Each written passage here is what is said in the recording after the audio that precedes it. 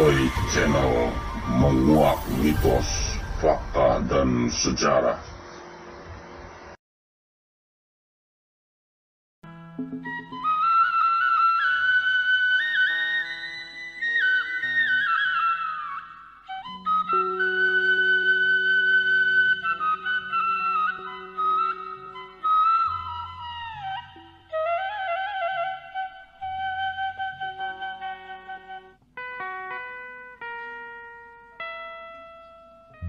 Assalamualaikum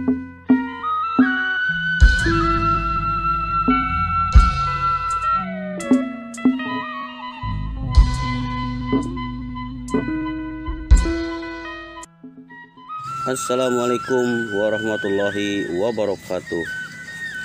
Salam jumpa kembali sahabat Odoy bersama Kang Odoy channel yang menguak mitos, fakta, dan sejarah Dengan ucapan Bismillahirrahmanirrahim Sebagai Purwa Daksina Purwa Wiwitan Daksina Wekasan Alkisah sebuah kerajaan besar di tatar barat Pulau Jawa. Kerajaan bernama Sunda Galuh Pakuan. Itulah kerajaan yang adil palamarta gemah ripah repeh rapi loh jinawi. Aman tentrem kertara harja. Rakyatnya hidup damai. Murah sandang lan pangan subur kang sarwati nandur murah kang sarwati nuku tersebutlah seorang raja agung bergelar Sri Baduga Maharaja Prabu Siliwangi. Raja yang sakti mandraguna totosan bojana kulit ganti sukma kadangi dewa. Boten tedas tapak tinuleng. Itulah Prabu Siliwangi putra dari Prabu Dewa Niskala cucu dari Prabu Niskala Wastu Kancana yang lahir di daerah Kawali Galuh Ciamis tahun 1401 Sahabat, sebelum kita melanjutkan kisah ini bagi yang belum subscribe silahkan like komen dan subscribe-nya agar bisa kembali menyaksikan video-video terbaru dari Kang Odoy yang menguak mitos, fakta, dan sejarah. Pada pertemuan kali ini kita akan berkisah tentang Pangeran Walang Sungsang atau Pangeran Cakrabuana berawal dari kisah Prabu Siliwangi yang memiliki istri bernama Nyi Subang Larang. Beliau adalah putri dari Ki Gedeng Tapa. Dari pernikahannya, Prabu Siliwangi dengan Nyi Subang Larang dikaruniai tiga orang anak. Yang pertama bernama Pangeran Walang Sungsang dan yang kedua perempuan Nyi Dewi Rara Santang dan yang ketiga bernama Raden Kian Santang. Pangeran Walang Sungsang lahir pada tahun 1430. Putra pertama Sri Baduga Maharaja Prabu Siliwangi. Beliaulah Pangeran Walang Sungsang sebetulnya merupakan pewaris tahta kerajaan Sunda Galuh Pakuan atau yang kita kenal sekarang dengan nama Raja Pajajaran. Pada usia 12 tahun, Pangeran Walang Sungsang sudah mengenal ajaran Islam walaupun di dalam lingkungan kebesaran keraton Pajajaran kehidupannya semua beragamakan Sunda Wiwitan yaitu sebuah agama dari leluhur orang Sunda. Karena perbedaan pemahaman antara Pangeran Walang Sungsang dengan ayahanda Prabu Siliwangi, terjadilah pada usia 14 tahun Pangeran Walang Sungsang bersama adiknya Nyi Laras Santang meninggalkan kebesaran keraton Pajajaran. Setelah Pangeran Walang Sungsang bersama Nyi Dewi Larasantang adiknya meninggalkan keraton Pajajaran, Pangeran Walang Sungsang ini terus berkelana dari satu tempat ke tempat lain, dari satu perguruan ke perguruan lain. Di berbagai daerah, suatu saat Pangeran Walang Sungsang singgah di sebuah pertapan bernama Pertapan Gunung Kumbang yang berada di Tegal. Kemudian berpindah lagi pada satu pertapan bernama Pertapan, Pertapan Ciangkup yang berada di Panongan, Sedong.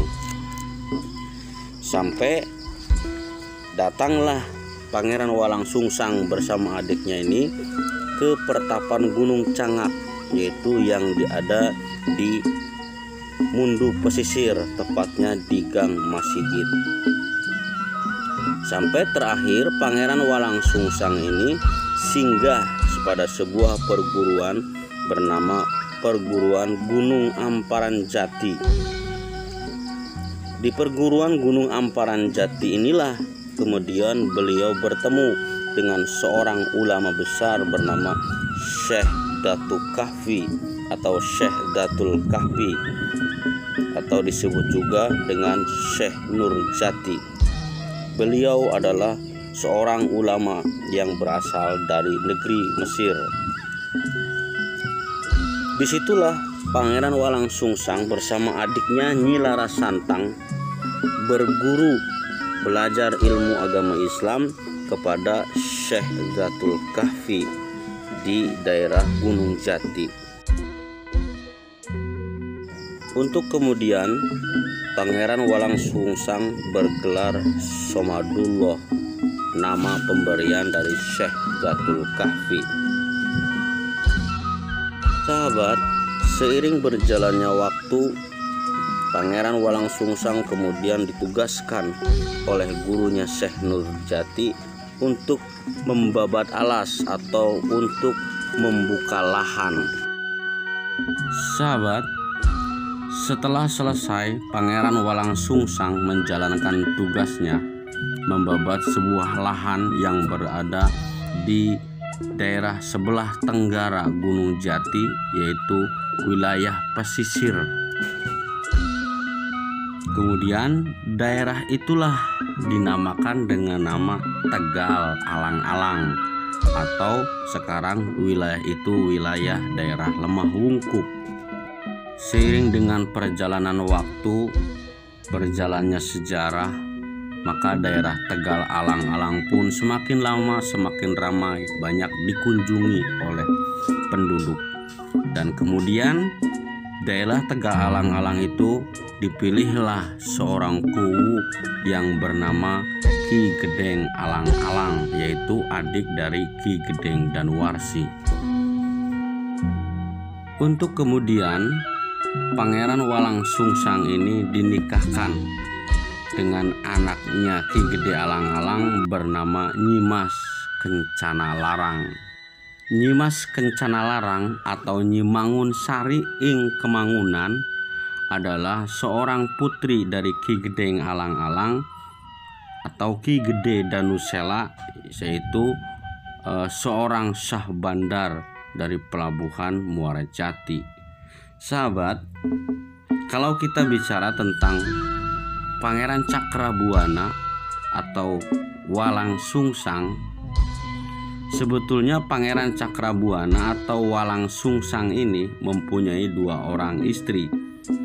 Yang pertama yaitu Nyimas Kencana Larang dan yang kedua adalah Nyiraras Jati putri dari Syekh Jati Suara.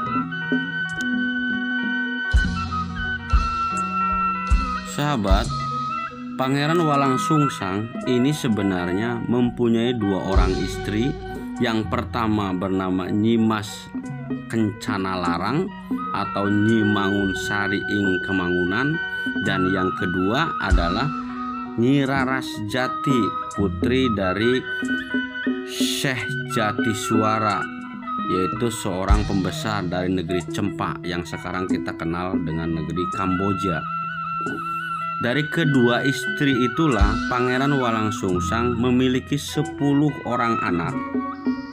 Hasil perkawinannya dengan Nyimas Kencana Larang memiliki tiga orang anak. Yang pertama Nyi Dalem Pakungwati, beliau inilah merupakan ibu kandung dari Kanjeng Sunan Gunung Jati untuk cerita berikutnya. Dan yang kedua bernama Pangeran Kejaksan atau Pangeran Pejabungan atau bisa juga disebut dengan Arya Mengger. Dan yang ketiga yaitu Pangeran Pajarakan. Sedangkan hasil pernikahan dengan Nyi Dewi Raras Jati Pangeran Walang Sungsang ini memiliki tujuh orang anak. Yang pertama bernama Rara Konda, terus Rara Jati Merta, yang ketiga Rara Jemaras, yang keempat Nyi Merta Singa, yang kelima Nyi Japa Mentar, yang keenam Nyi Jamarta, dan yang ketujuh Nyi Rasamala. Itulah sahabat Kesepuluh keturunan dari Pangeran Walang Sungsang atau Pangeran Cakrabuana ini hampir kesemuanya terdapat delapan orang anaknya adalah perempuan yang laki-laki yaitu yang kedua dan ketiga yaitu Pangeran Kejaksan dan Pangeran Pejarakan. Itulah sahabat sekilas tentang kisah Pangeran Walang Sungsang atau Pangeran Cakrabuana yang merupakan cikal bakal berdirinya kota Cirebon yang dahulu bernama Caruban Larang. Oke sahabat mudah-mudahan apa yang sudah kau sampaikan bermanfaat dan tentunya bisa menambah wawasan kita tentang pemahaman sejarah Kacirebonan dan terutama mohon maaf pula untuk para ahli sejarah barangkali dalam penyampaian narasi yang Kang Odoy sampaikan banyak terdapat kekurangan dan kesalahannya. Silahkan untuk saran dan kritiknya cantumkan saja di kolom komentar.